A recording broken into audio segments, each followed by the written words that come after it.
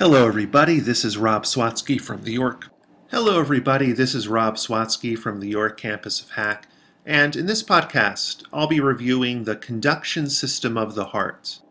A small group of specialized cardiac muscle fibers called autorhythmic fibers are self-excitable, which means they're able to generate their own spontaneous action potentials that cause the heart to beat. They are the network of specialized fibers that produce action potentials that lead to the heart's contraction. The autorhythmic fibers account for the involuntary nature of the cardiac muscle contraction, allowing it to contract without conscious control or input from the brain.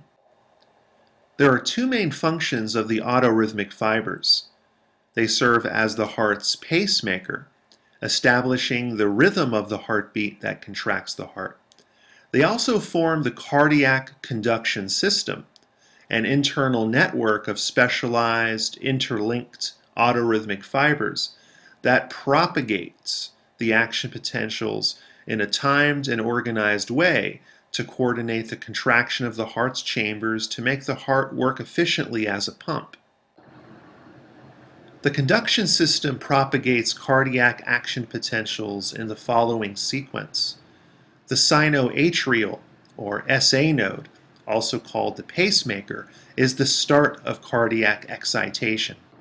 Think of it as a spark plug that gets the heartbeat started. The SA node is located in the upper wall of the right atrium, near the opening of the superior vena cava. The cluster of SA node cells have an unstable resting potential called the pacemaker potential.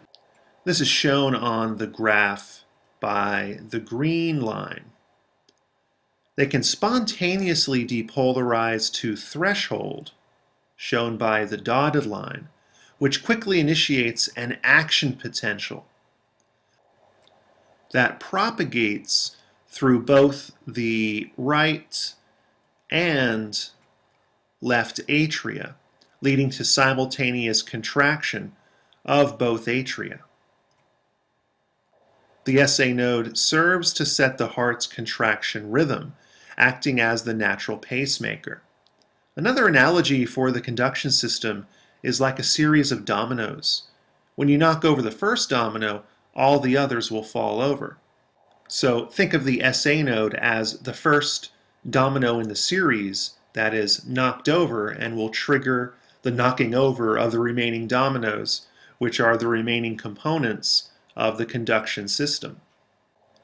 Next, the action potential reaches the atrioventricular node, also called simply the AV node. The AV node is found in the interatrial septum, which is the partition between the right and left atrium.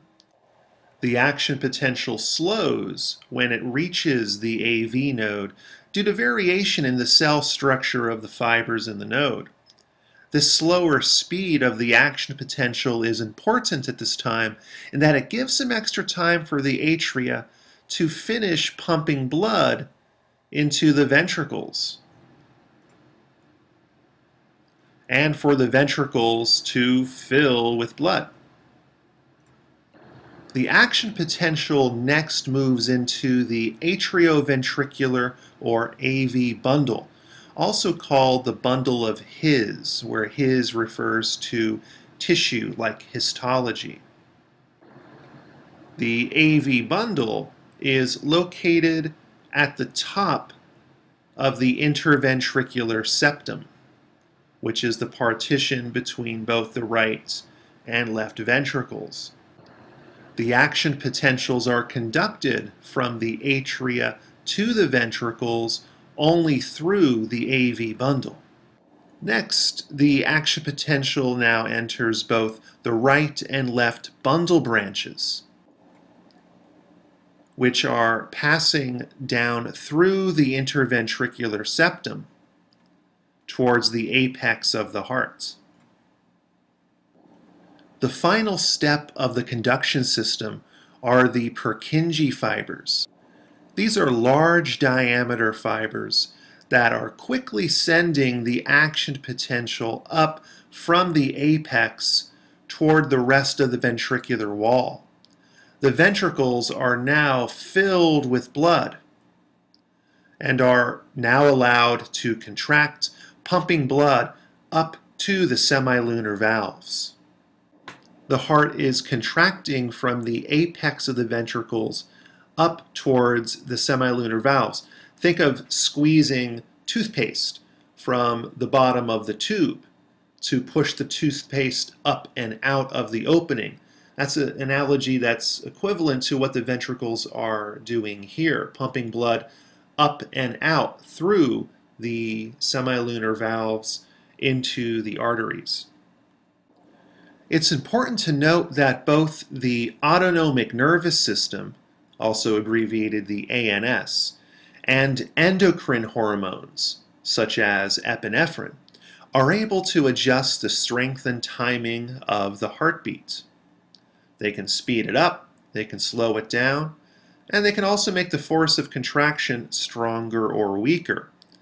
But a very important point is that they cannot establish the fundamental rhythm of the heartbeat. This originates exclusively from the SA node.